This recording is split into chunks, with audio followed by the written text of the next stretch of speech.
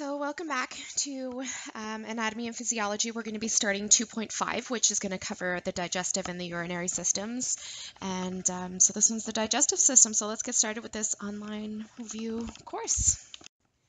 So the digestive system, the animal needs to provide nutrients and energies to the cells in their body. That's the whole purpose of eating, is so that all the nutrients that we're ingesting can go and fuel the cells in our body to make energy. So one way that this is met is by breaking down and absorbing the nutrients that we're eating. And there's two different types of digestive systems, um, and there's monogastrics, which is animals that have one stomach, and then there's ruminants, which are animals that have a four-chambered stomach. So, what is the point of the digestive tract and what does it do? So, first of all, prehension, which is just grasping of food, and this happens. Um, the beginning of your mouth is a part of the digestive system, and so your lips and your teeth are responsible for prehension.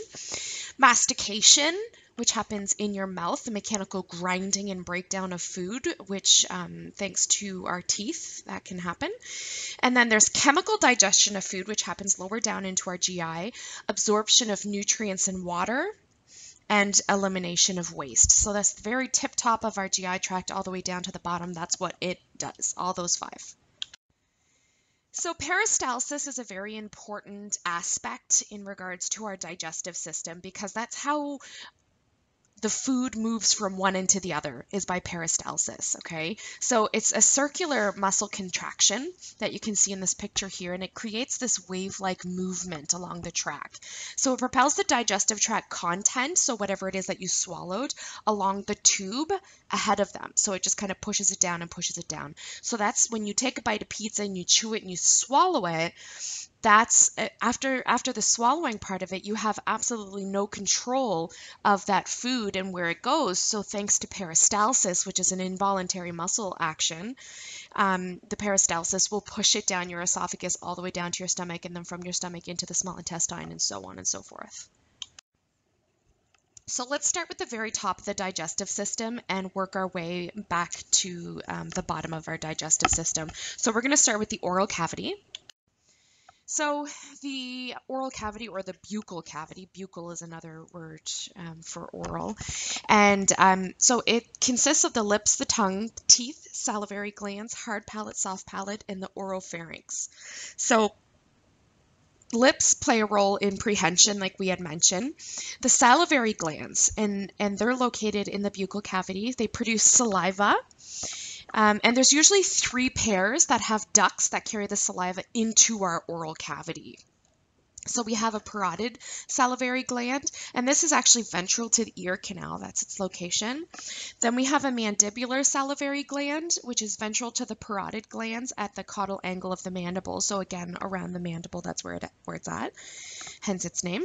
And the sublingual salivary gland, and just because of its name, I'm sure you can figure out where that one's located. The teeth. This is this picture here is a beautiful picture of this guy has really beautiful teeth, and um, they're responsible for mastication, so the chewing and the physical breakdown of food into smaller pieces so that we can swallow it. There's an upper arcade for our teeth, which is the upper teeth, which are um, contained within the maxilla. The maxilla is the upper jaw. And then we have a lower arcade of teeth, and those are contained within the mandible, which is the lower jaw. There's a whole bunch of different types of tooth shape. Um, so carnivore teeth are more pointed on the occlusal surfaces. Now remember the word occlusal means um, the occlusal surface is just where your teeth come down into connection. So if you snap your teeth down where those upper and lower teeth touch and meet, that's the occlusal surface. And um, so it's more pointed at the occlusal surface and slightly curved uh, towards the back of the mouth. So this is really good for holding prey, tearing, cutting, and shredding, which is necessary for carnivores. And then we have the herbivore teeth, which are that have a flat occlusal surface, and this just helps them grind uh, plant and grain material. So this is a pretty cool picture here showing you the differences in the teeth. Um, starting all to the right over here with our carnivore teeth, you can imagine um, how that would be beneficial when grasping um, prey and tearing and cutting tissue. Then we have our omnivore, which kind of has the uh, carnivorous pointy teeth, um, but maybe not as dramatic as the carnivore. Then we have our herbivore here, which have those flat occlusal surfaces. And us humans, I guess we kind of fall somewhere in between herbivore and omnivore, really, um, although humans are omnivores. So um, there's different types of teeth as well. Um, the incisors are the front teeth that are located um, at the more rostral end of the jaw, and um, they're used for grasping. And uh, then we have a, and then we have our canine teeth, which you see a picture down here at the bottom. This one actually has a really cool. This guy went to a dental specialist. Obviously, we don't see that very often in, in veterinary medicine because of the cost. Um, but this is a canine tooth here with a very cool um, metallic uh, cap, I guess you could call it. Um, and the canines are used for tearing. Okay, that's what their job is to do, is to tear tissue located just laterally to the incisors. So if you take a look at that upper picture, you'll see the incisors at the top, and then just lateral to that, we'll find the canine. They're the they're longer than any other tooth, and they're pointed at the tip.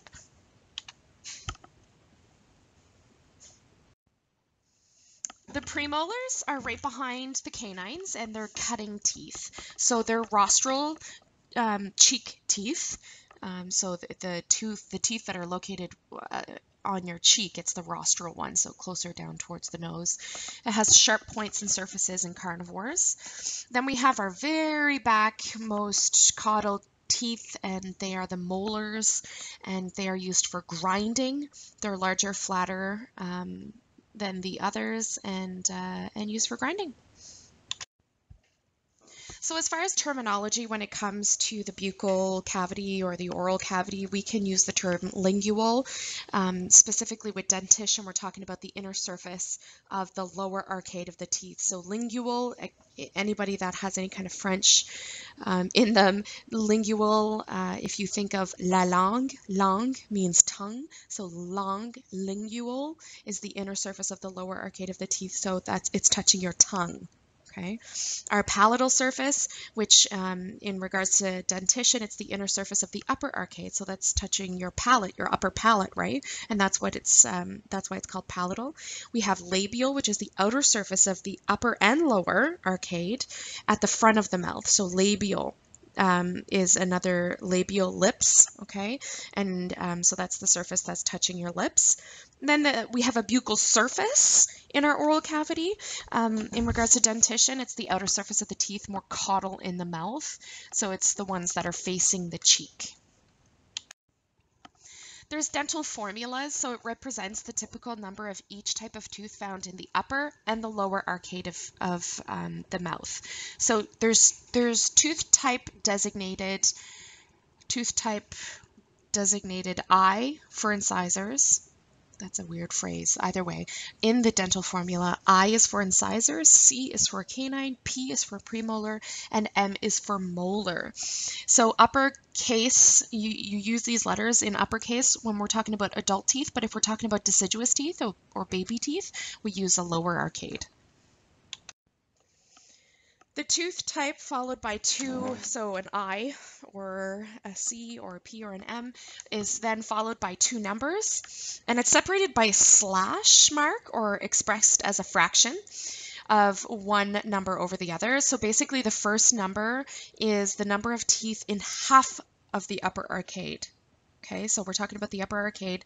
So it's going to be half of it, so starting right in the medial aspect. And then the second number is going to be the number in the teeth in half of the lower arcade. So the, the first number, so we will have our letter, which is going to be I, C, P, or M, depending on the type of tooth we're talking about. And then after that, by one number, which is the upper arcade in half, the half of the upper arcade and then a slash and then what um, how many is in the lower arcade. So the total number determined by summing all of the numbers and multiplied by 2 will give you the total amount of teeth. I know this can get a, a little bit confusing without seeing the actual formula. But this is what we're talking about here um, when we're talking about half of the arcade. So we're splitting it right here in half from right to left side. So this is I1, incisor 1, incisor 2, incisor 3, I3, okay? And then this would be C, and usually they would just, there'd be a 1 there just to um, show you that there's just one canine. This is P1, P2, P3, P4 right? So premol the first premolar, second premolar, third premolar, fourth premolar, and M1 and M2, and that's what that would be um, how we would write out the formula.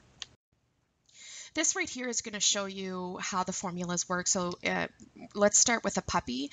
And um, there's these are all lowercase, so a lowercase i, a lowercase c, and a lowercase p because those are baby teeth. Those are deciduous teeth, okay? So I3 means that um, the upper arcade has three baby incisors, and then slash 3 means that there's three lower incisors. There's one upper canine and one lower canine. There's three premolars, upper premolars, and three lower premolars. But as that puppy turns into an adult, that's when we will start using uppercase because we're talking about adult teeth. The canine will have three upper incisors, three lower incisors. And remember, we're just talking about one side of the arcade. So this is just um, this right here is just showing you, for example, the right side. Obviously being identical on the on the left side, that's why we take all these numbers and then times them by two, because then we'll have the right and the left side, but this is just one side of the mouth. So on, let's say the right side of the this adult canine, we're going to have three upper incisors, three lower incisors. And then on that same side, one canine and one canine, four premolars, and then two upper molars, but three lower molars. And that's what that that means. And then if you um, add, add those all up and then times it by two because we have a right and a left side, right? You'll have a total of 42 teeth in our canine. And then you can see the differences between all these other species here. So the structure of the tooth, um, there's different layers of a tooth. The pulp is the very, very center center of the tooth. And this is where blood and nerve supply enter. And so this is the pulp right here, right? The right the core center of the tooth. The apex is where the nerve and the nerves and blood supply comes into the tooth and, and fills the pulp, comes in at the apex right down here. Then we have uh, dentin, which is the next layer, okay? And the dentin surrounds and protects the tooth pulp. Dentin is actually sensitive. There are nerve endings that go into the dentin, so once dentin is exposed, it can be very painful. And then um, there is something down here, down at the root surface called cementum, and it's not labeled on here, but um, you can see that my my red dot is following it there and that's the cementum and it's a hard connective tissue and it covers the tooth root so underneath the bottom half of the tooth, and it helps fasten the tooth securely into the bone of the jaw. Then we have the enamel, which is the outer covering of the crown part of the tooth. So the crown is the exposed part of the tooth, and it's the hardest, toughest tissue in the body. Gingiva um, is the gums and it's epithelial tissue that uh, composes the gums around the tooth. And you can see the gingiva right here which is the pink the pink substance here. And it's actually epithelial tissue. This here is showing you um, those layers of the tooth starting from the outside. So this this part here is the crown. And then if we go under the gum this is the root. So we have our enamel, which is the hard outer surface, and then the next layer underneath the enamel is going to be the dentin. The dentin, the, the enamel is only in the crown of the tooth, but the dentin, the next layer, goes all the way through the entire tooth, root and crown. And, um, and then the very, very center core is the pulp where all the blood and nerve vessels are. And then it leaves the apex of the tooth, which is right down here. This picture is also showing you the cementum, which is right here outside of the dentin, and it cements it down. Um, there's also going to be a, a periodontal ligament, which is going to help that tooth stay into place as well. And then we have our alveolar bone here, which is our jawbone.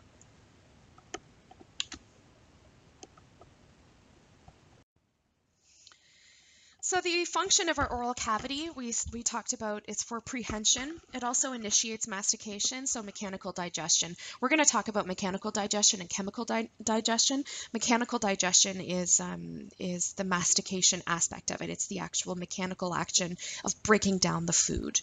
Um, breaks food into smaller particles that increases the surface area available for exposure to the enzymes involved in chemical digestion. So basically, mechanical digestion happens so that we can break it down to little tiny particles particles so that chemical digestion can do its job. Um, it also initiates chemical digestion, and that happens with saliva. So, in the oral cavity, not only do we have mechanical digestion that starts, but chemical digestion starts here as well, thanks to the saliva. The saliva is added to food as it's chewed, and it moistens, softens, and shapes food into a form that is more readily swallowed. And, um, and the oral cavity will also help prepare food for swallowing. So the digestive enzymes that we were talking about, the, the chemical um, digestion that happens in the mouth, and um, the autonomic nervous system controls most of the glands in the digestive system. So the parasympathetic stimulation increases salivation. So this is um, anticipation of eating can cause the parasympathetic stimulation of the, sal the sal salivary glands. So um, if I think, oh my gosh, look at that pizza, I'm going to eat it, it's so yummy looking, automatically my parasympathetic nervous system is going to stimulate those um, salivary glands to start expressing saliva. The sympathetic nervous system, though, um, actually decreases salivation. So when we go into our fight or flight, um, again, I'm going to refer to that dinosaur busting into my room. My sympathetic nervous system is going to kick in. And the last thing my body's going to be worried about is creating saliva so that I can eat and chew this pizza. My body is more concerned about getting blood to my heart and to my muscles so that I can get the heck out of here away from this dinosaur. So, sympathetic nervous system actually decreases salivation. But then once I realize, oh, no, I'm just hallucinating, and my parasympathetic nervous system kicks back in and everything kind of calms down and my body goes back to homeostasis, um, it will uh, bring back that normal salivation into my oral cavity. This, uh, so that was our oral cavity. We're going to move down to further down into our digestive tract to the upper GI. So starting with the esophagus, the esophagus is um, is a tube that um, starts in your pharynx, and um, remember, there's two tubes in your pharynx. There's one tube, uh, which is your trachea, that leads to your respiratory system. The other tube is your esophagus. Remember that your trachea in quadrupeds um, lies ventral and in your pharynx, and then the esophagus lies um, dorsal. Okay, so that's in quadruped. So you have to think of an animal on all four. So the trachea is going to be ventral, the esophagus is going to be dorsal. So the esophagus transports swallowed material from the pharynx to the stomach. It enters the stomach at an angle in the cardia region, which is a part of the stomach, and we're going to talk about that in a second. And um, it is going to pass through a sphincter once it leaves the esophagus and moves its way into the stomach, and that's called the cardiac sphincter. So it opens and allows food to come into the stomach. As the stomach expands, the fold of the stomach um, against the esophagus closes the lower end of the esophagus. So this reduces the risk of reflux, so everything in the stomach stays in the stomach, or hopefully it does. In some species, the closure is so strong that it actually will not allow reflux or vomiting at all. So like rabbits and horses, this um, cardiac sphincter cannot ever open. They do not vomit, um, whereas other animals, there in some cases vomiting can happen, which allows the food to go from the stomach back through the cardiac sphincter and out the esophagus. So, um, moving down to the stomach, and we're going to talk about monogastric stomachs. First, there's five different areas in this one stomach. We have our cardia, which is the very uh, entrance of our stomach. We have the fundus, which you can see in this picture here, um, the body of the stomach, the pyloric antrum, as well as the pylorus. The cardia, which is the opening from the esophagus, uh, hence the name cardiac sphincter that allows it into the cardia. After that, the fundus, which is the second part of the stomach, is a distensible blind pouch. So it expands as more food is swallowed. So basically, that's the expansion part of our stomach as we eat that pizza. And then the body of the stomach is a distensible middle section of the stomach. The fundus and the body contain numerous glands. Um, these gastric glands contain parietal cells, which produce hydrochloric acid, which is the stomach acid that's going to help chew up that food. There's chief cells, which produce the enzyme pepsinogen. And then there's mucus cells, which produce the productive mucus that lines the stomach so that the stomach acid doesn't eat the stomach wall. Okay. The pyloric antrum is the next step in the stomach, and this grinds up swallowed food, okay, and regulates hydrochloric acid. So glands contain, the glands in the pyloric antrum contain what's called G cells, and they secrete gastrin, um, increases production of hydrochloric acid, inhibits muscle activity of the fundus. So this all happens here.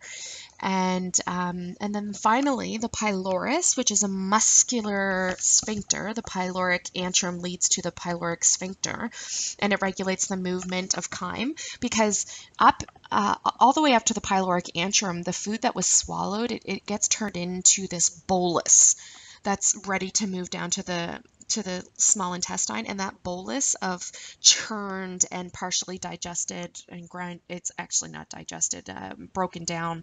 It's actually causes it creates a bolus that's actually called chyme and it moves from the stomach into the duodenum and it passes the pyloric sphincter. And it prevents backflow of duodenal content into the stomach. So we have our cardiac sphincter at the beginning of our stomach and then the pyloric or the pylorus the pyloric sphincter at the the base of the stomach that um, stops makes things go from the stomach into the duodenum, which is the beginning of the small intestine, and, and stops prevents backflow as well. So gastric motility, each area of the stomach has a different motor function. The fundus and the body relax with the swallowing of food. The body of the stomach contracts to help mix the food. The pyloric antrum increases contractions in response to swallowing. So it stimulates mixing, grinding, and propulsive contractions that move food towards the pylorus, okay, to get it out of the stomach. Peristalsis also occurs in the stomach and the intestines as well, like we discussed that it happens in the esophagus. This here is showing you gastric motility and um, how we're going to have the body of the stomach contract, move things down into the pyloric antrum, and it moves in like a wave-like uh, fashion. Um, yeah, and there's going to be grinding that happens in the pyloric antrum and you can see that at step number two. And um, and then in the last step here you can see the pyloric the pyloric sphincter opening up and allowing that chyme that that grinded up food to finally move into the duodenum. So um, stomach contains mucosal layers okay? So there's different layers to the stomach. There's a submucosa a muscular layer which has longitudinal and circular muscle fibers and then an outer serosal layer Smooth muscle in the stomach wall responds to hormones, um, like peptides, of the nervous system controls.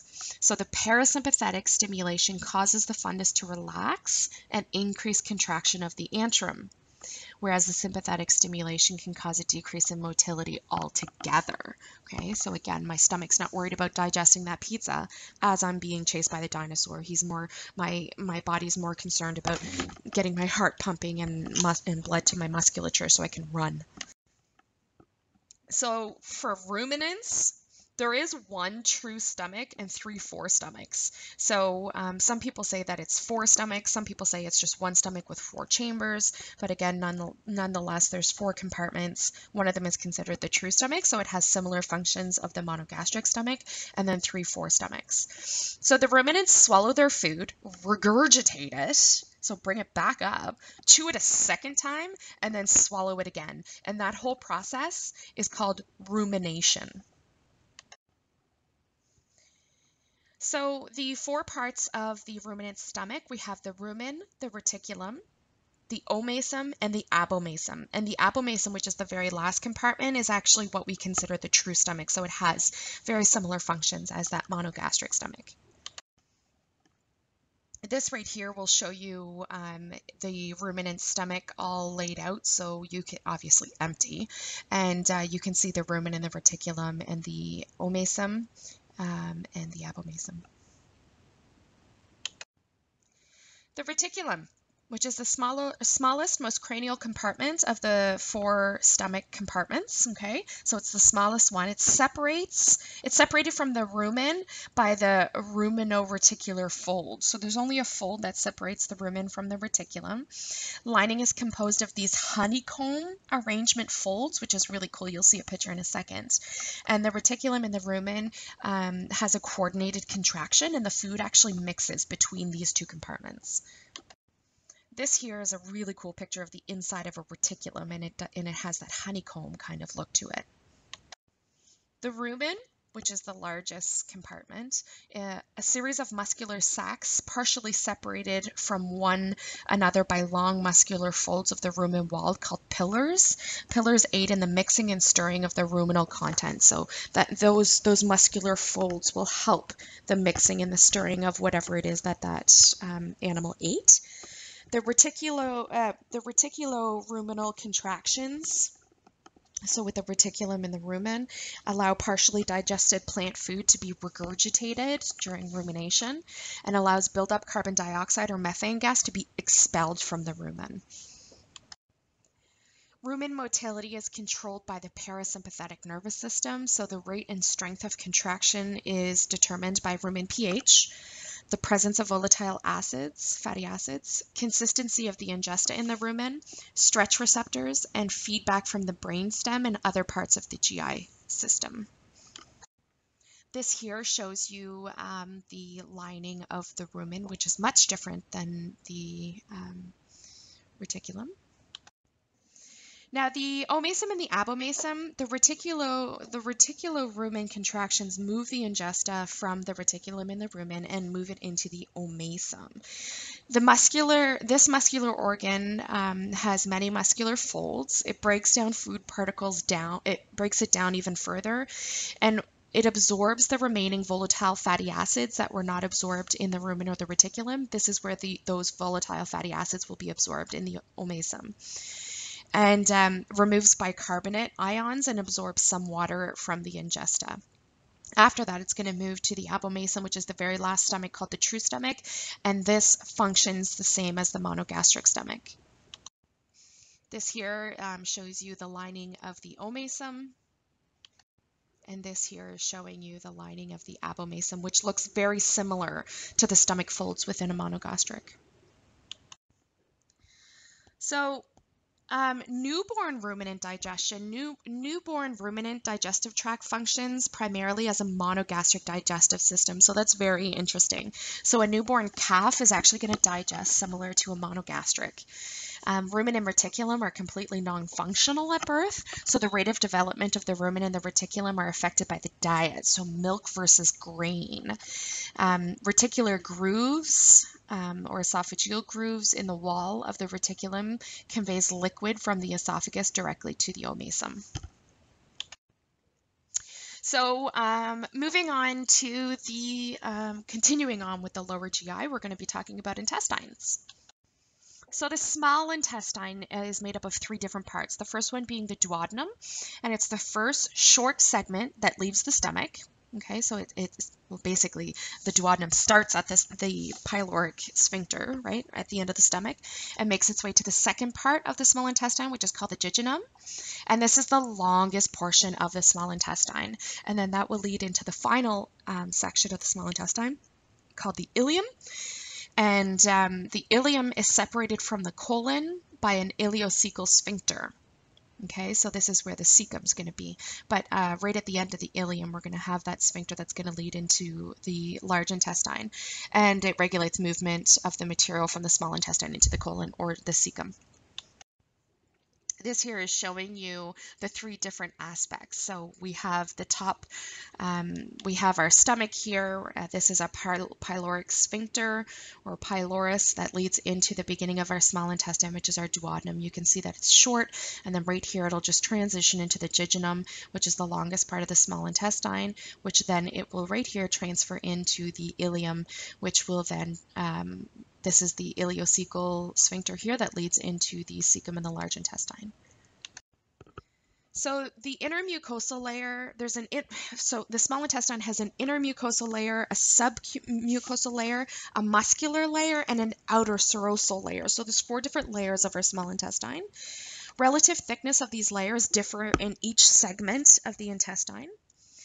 Uh, the parasympathetic stimulation involved in small intestine uh, small intestinal motility, secretion, and, and blood flow. So thanks to our parasympathetic nervous system, we have that motility, secretion, and blood flow. Our sympathetic um, uh, nervous system actually decreases blood flow. Again, we're not worried about digesting that pizza. When our sympathetic fight or flight kicks in, uh, the blood is going to go somewhere else. Therefore, motility, secretion, and blood flow is going to slow down in the small in intestine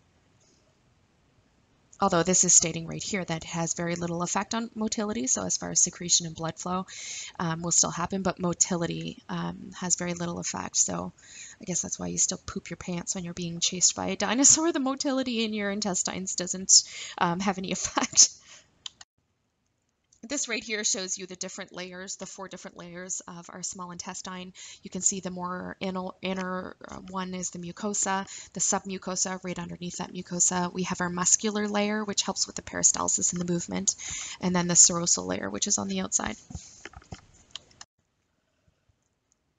So the mucosa itself, so the very most, um, the innermost uh, part of our small intestine has many folds and villi.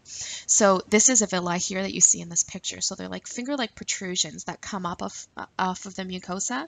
Each villus contains thousands of microvilli brush borders. So this is one villus and it has a whole bunch, like hundreds of these little tiny little th thousands probably of microvilli on the surface of it. And um, the microvilli, um, digestive enzymes and carrier molecules are embedded in the cell membrane. There's um, within these villi, there's crypts, which are invaginations of the mucosa around each villus. So each one of these big finger-like protrusions, in between those, is those are that's that area is called a crypt, and produce cells that are pushed from the bottom of the crypt up to the villus to replace older cells shed at the tip of the villus. There's also goblet cells within here um, that produce mucus, and they help protect the intestinal mucosa. This right here is a picture showing you one villus and all of its um, uh, microvilli. So um, you can see that depicted there.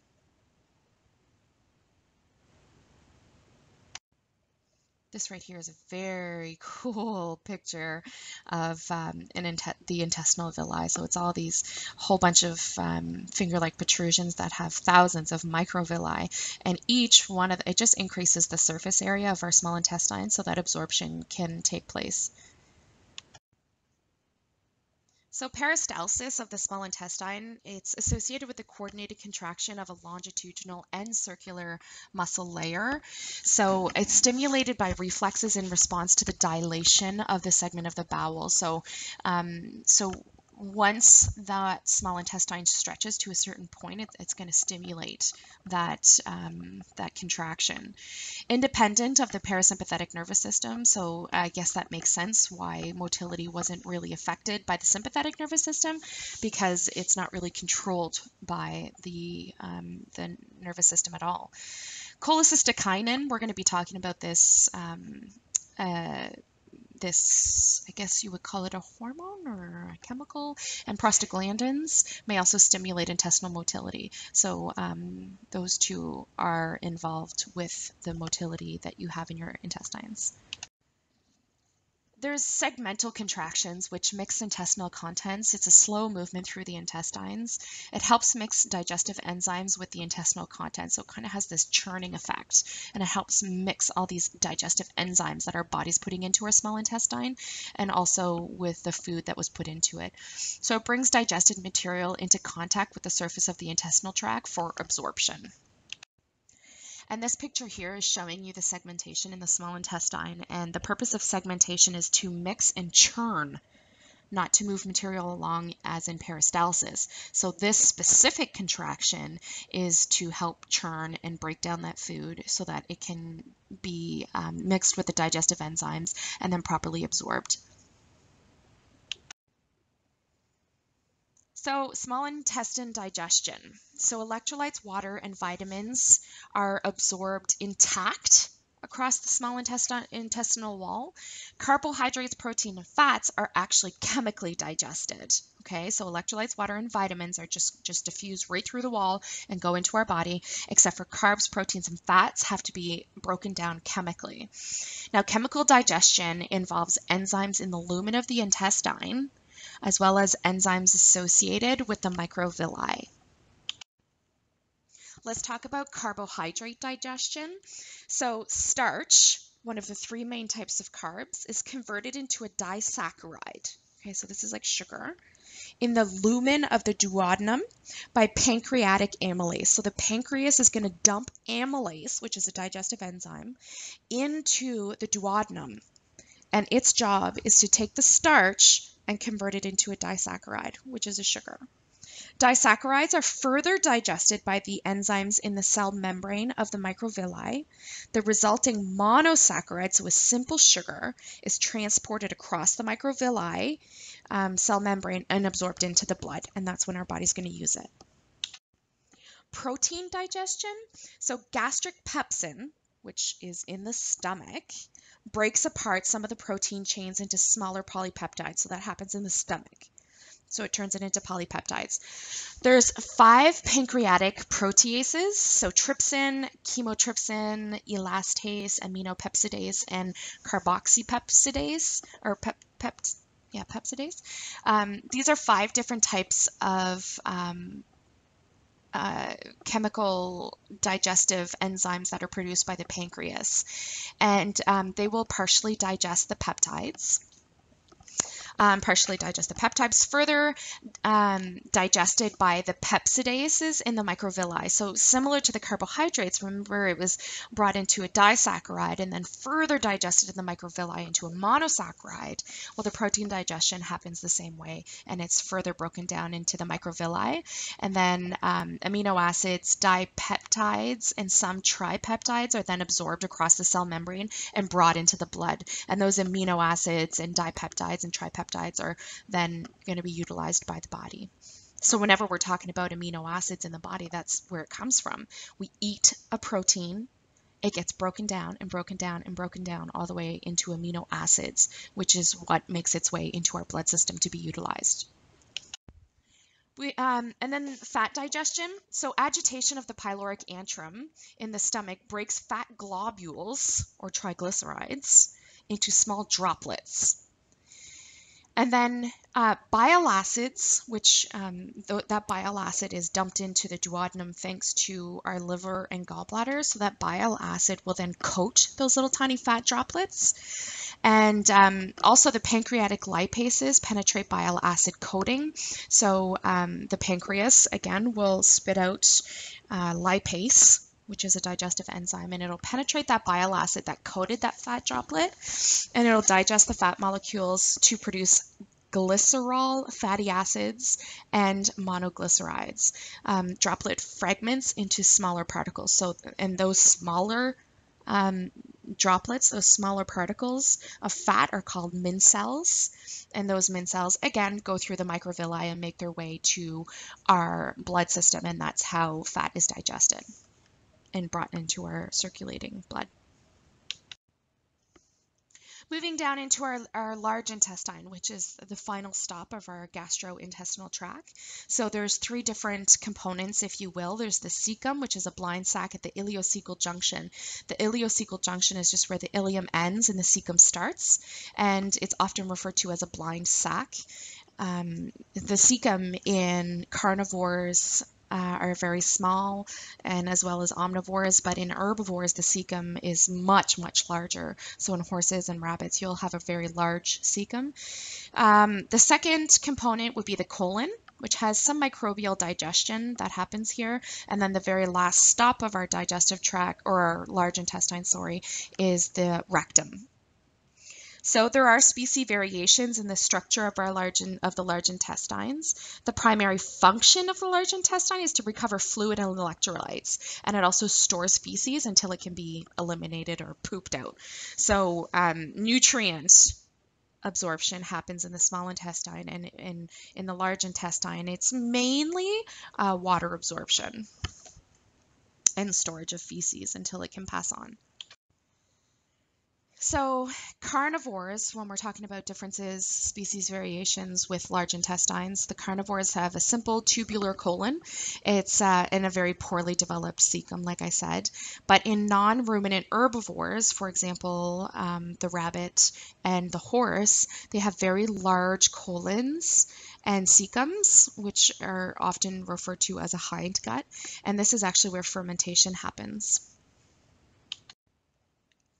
Now, speaking of hindgut digestion in um, horses, guinea pigs, rabbits, and rats, so these are all uh, monogastric herbivores. The modification of the cecum and the colon allow for fermentative digestion in the hindgut. So this is what happens, and, and I, I, keep saying in monogastrics herbivores, and that's because in the rumen, in in ruminants, that fermentation happens in the rumen, which is remember that first the the very large compartment of the four stomachs, the rumen fermentation happens there. But if we have a monogastric, um, that fermentation is going to happen in the cecum or in the hindgut. So volatile, volatile fatty acids produced um, by microbes are absorbed from the cecum and colon for energy needs, just like they are from the rumen in ruminants. So when we're talking about fermentation, fermentative digestion, that's what we're talking about is volatile fatty acids are going to be absorbed and used as energy. Acids buffered buffered by the secretion of bicarbonate directly into the colon and the cecum, so it can be quite acidic, right? And um, it but it's buffered by bicarbonate that's um, that's put into the cecum. Now, the rectum is the terminal portion of the large intestine. The nervous system control of motility and secretion is similar to that of the colon. So, numerous uh, mucus secreting glands lubricate and aid the passage of the contents. Um, and sensory receptors detect stretching and stimulate the defeca- defecation response. So um, animals don't typically feel the need to defecate until their colon has stretched to the point where these sensory receptors are saying, "Okay, we're stretched enough. Let's um, let's get rid of this," and then you'll have that defecation sensation. The anus is the um, sphincter at the very end of the rectum, so the exit portion. And it's actually, the anus is actually made up of an internal and external, external muscular sphincter. The internal sphincter is under autonomic control. So we have no control over the internal sphincter. Um, but the external sphincter, thank God, is under voluntary control, so we can control that external sphincter. So as the rectum distends, those stretch receptors are um, in the rectum wall causes partial relaxation of the internal sphincter, and that's what we mean by autonomic control. So remember, the the rectum is going to stretch. Our our nervous system or the stretch receptors are going to say, okay, we're, we need to defecate. So it's going to give that sense of defecation, and then we're going to have partial relaxation of that internal sphincter, and that's under autonomic control. We don't control that, but thankfully we can control the external sphincter, and um, and then um, and that's under um, our voluntary control. Anal mucosal receptors increase the sense and need for defecation. So we're going to talk, we talked about the gastrointestinal tract, so literally from the oral cavity down to the anus, but there's also accessory digestive organs. So there's organs in our body that aid in digestion, and we're going to talk about those. So, first of all, let's talk about the liver and what it does for our digestion. The liver produces bile, which is made up of bile acids, cholesterol, and bilirubin. Secreted, um, this bile is secreted into bile ducts or um, to hepatic ducts and then to the gallbladder and it just hangs out in the gallbladder until it's needed. So, stimulation of the cholecystokinin that we talked about causes the gallbladder to contract and this forces bile down the common bile duct into the duodenum.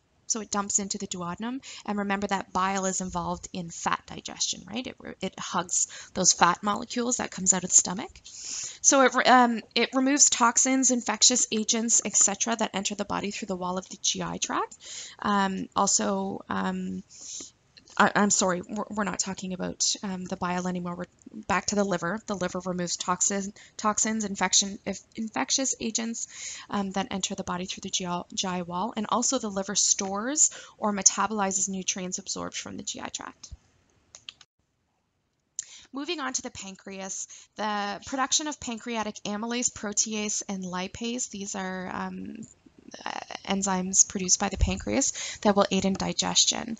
Secretes bicarbonate into the duodenum, so it helps neutralize the acidity of its content. So um, remember, there's that stomach acid that's being produced, and if that comes down into our duodenum, it could chew right, that acid could just chew right through the duodenum, right? Because the duodenum doesn't have that mucus layer like the stomach does to protect it. But the pancreas will secrete bicarbonate into the duodenum, and this is going to help neutralize that acidity and maintain the pH in the duodenum. And um, the pancreas also produces insulin and glucagon, which helps regulate blood glucose levels. So again, that's not a digestive function, but nonetheless, that is a function of the pancreas.